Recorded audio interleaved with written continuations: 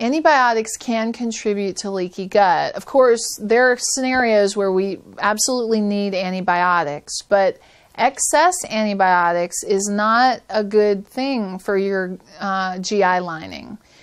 The the gut lining, the immune system, and the friendly bacteria all work in concert to protect you from the outside world. And this, when when you take antibiotics, it can kill off the bad bugs, but it also can really kill off the good bugs.